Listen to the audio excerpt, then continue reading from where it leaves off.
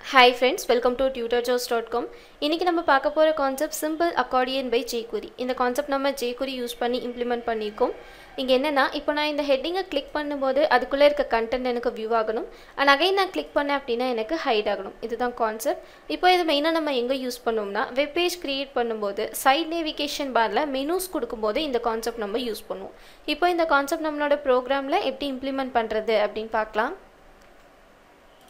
இங்கே நான் என்னோடய பேஜில் ஸ்கிரிப்ட் டேக்குள்ள ஜேக்குரி ஃபைல் நான் லிங்க் பண்ணியிருக்கேன்.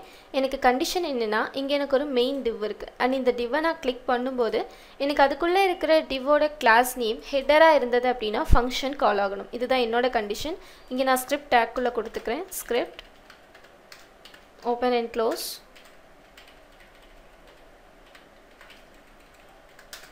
இங்கே எனக்கு மெயின் டிவோட கிளாஸ் நேம் எனக்கு பாக்ஸ் இங்கே இருக்குது ஸோ இந்த செலக்டார் தான் நம்ம இங்கே கால் பண்ண போகிறோம் so dollar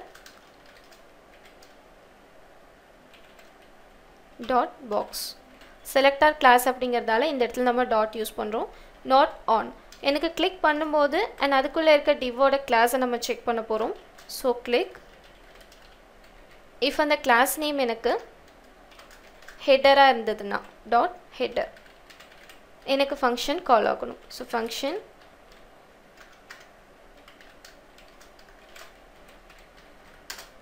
இனி இதுக்குள்ளே திஸ்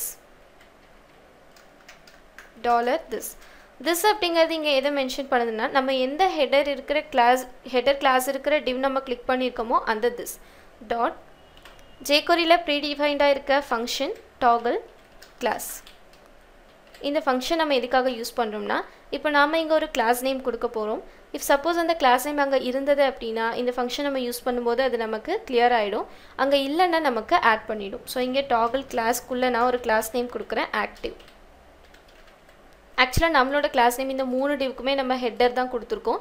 ஸோ நான் எந்த டிவை கிளிக் பண்ணுறேனோ அப்போ எனக்கு அதோட கிளாஸ் நேம் எனக்கு ஆக்டிவ் அப்படின்னு நமக்கு ஆட் ஆகிடும் இங்கே சிஎஸ்எஸில் நான் ஹெட்டர் அப்படிங்கிற கிளாஸ்க்கு ப்ராப்பர்ட்டிஸ் கொடுத்துருக்கேன். பட் நம்ம ஒன்ஸ் அந்த ஹெட்டர் கிளாஸ் இருக்கிற டிவ் நம்ம கிளிக் பண்ணும்போது நமக்கு ஆக்டிவ் அப்படின்னு இன்னொரு கிளாஸ் ஆட் ஆகும். அப்போ நமக்கு என்ன ஆகும்னா ஒரே ஒரு ப்ராப்பர்ட்டி கொடுத்துருக்கேன்னா எனக்கு பேக்ரவுண்ட் கலர் மட்டும் ரெட்டாக சேஞ்ச் ஆகணும் அப்படின்னு.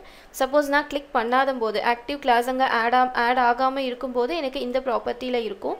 ஒன்ஸ் அதை ஆட் ஆனதுக்கு அப்புறம் எனக்கு என்ன ஆகும்னா பேக்ரவுண்ட் கலர் எனக்கு ரெட்டாக சேஞ்ச் ஆகிடும் ஸோ அதுக்காக தான் இந்த டாகல் கிளாஸ் நம்ம யூஸ் பண்ணுறோம் இந்த டாகல் கிளாஸ் ஃபங்க்ஷன் எதுக்காகனா ஜஸ்ட் நமக்கு ஒன்ஸ் நம்ம கொடுக்குற கிளாஸ் நேம் இருந்தது அப்படின்னா அதை கிளியர் பண்ணிவிடும் இல்லை அப்படின்னா நமக்கு ஆட் பண்ணிவிடும் ஸோ அது கொடுத்தாச்சு. டாட் நெக்ஸ்ட் இந்த ஃபங்க்ஷன் நமக்கு இப்போது இந்த டிவுக்கு நம்ம என்ன கொடுத்துருக்கோம் அப்படின்னா இந்த டாகல் கிளாஸ் அப்படிங்கிற ஃபங்க்ஷன் யூஸ் பண்ணி ஒரு கிளாஸ் ஆட் பண்ணணும் அப்படின்னு கொடுத்துருக்கோம். அதை அதை நான் கிளிக் பண்ணும்போது அண்ட் இன்னொரு இன்னொரு ஃபங்க்ஷன் எனக்கு இங்கே ஒர்க் ஆகணும். என்னென்னா இந்த கண்டென்ட் எனக்கு வியூ ஆகணும். So next dot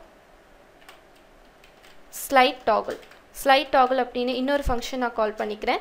slide toggle எனக்கு வந்து கிளிக் பண்ணும்போது எனக்கு அப்ஸ் அண்ட் டவுன் தான். வந்து கிளிக் பண்ணும்போது எனக்கு வியூ ஆகணும். அகைன் கிளிக் பண்ணால் எனக்கு ஹைட் ஆகணும். இல்லை நம்ம டைமிங் கொடுத்துக்கலாம். இல்லை நார்மலாக கொடுக்கணும் அப்படின்னா ஜஸ்ட் அந்த ஃபங்க்ஷன் நம்ம கொடுத்தா போதும். ஸோ இப்போ ஓவராலாக இங்கே நம்ம என்ன பண்ணியிருக்கோம்னா இந்த பாக்ஸ் கிளாஸ் இருக்க டிவை நான் கிளிக் பண்ணும்போது அதோட கிளாஸ் நேம் எனக்கு ஹெட்டராக இருந்ததுன்னா ஃபங்க்ஷன் கால் ஆகணும். ஃபங்க்ஷன் கால் ஆனதுக்கப்புறம் நான் எந்த ஹெட்டர் நான் கிளிக் பண்ணியிருக்கணும் அங்கே நான் ஒரு கிளாஸ் ஆட் பண்ணிக்கிறேன் டாகல் கிளாஸ் ஆக்டிவ் அப்படின்னு. ஆனால் அதுக்கு நான் இங்கே ப்ராப்பர்ட்டி கொடுத்துருக்கேன். எனக்கு சேஞ்ச் ஆகும்போது எனக்கு பேக்ரவுண்ட் கலர் சேஞ்ச் ஆகணும் அப்படின்னு. அண்ட் நெக்ஸ்ட் இன்னொரு ஃபங்க்ஷன் எனக்கு என்னென்னா இங்கே நம்ம அடுத்தது கொடுத்துருக்க இந்த கண்டென்ட் எனக்கு டிஸ்பிளே ஆகணும் அப்படிங்கிறது. இப்போ இதை சேவ் பண்ணிக்கிட்டு நம்ம ப்ரௌசரில் ரெஃப்ரெஷ் பண்ணிக்கலாம்.